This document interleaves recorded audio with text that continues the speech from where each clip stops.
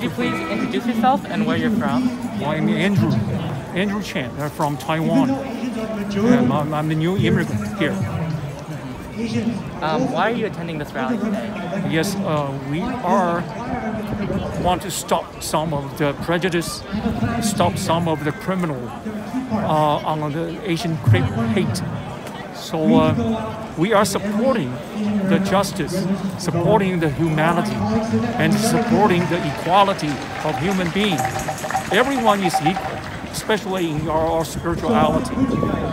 So we are not from our racism or ethnic or, or skin. So we have to fight for the justice. We are being treated, uh, discriminated, or differences, that is a crisis of our human being. So I have to stand out for this route. How can other members of the community help to combat Asian hate? I think one is oh, we have to have a strong law enforcement.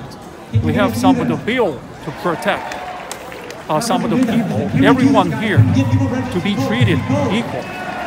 So law enforcement is the first priority, I think. The other, we have to enforce the education with us from our very young generation to treat them, to treat everybody equal, not from their ethnics or skin.